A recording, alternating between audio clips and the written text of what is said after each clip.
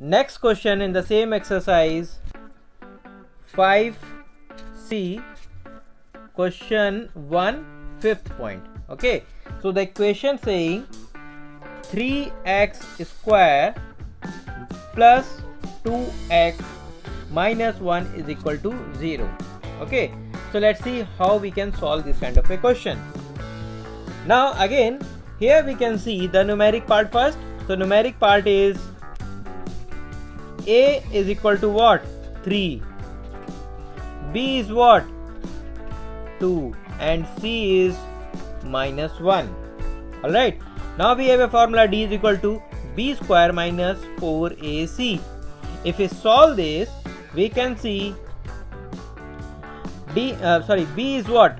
2 2 square minus 4 into 3 into minus 1 if we solve this further we can see 4 plus 12 is equal to 16 right? And this is your equation number 1 now we have a formula.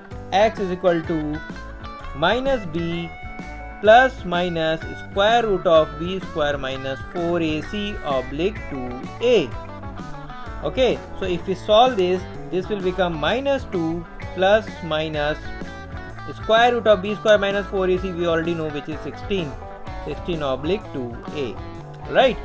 Now if we see x square is equal to minus 2 plus minus square root of 16 is what?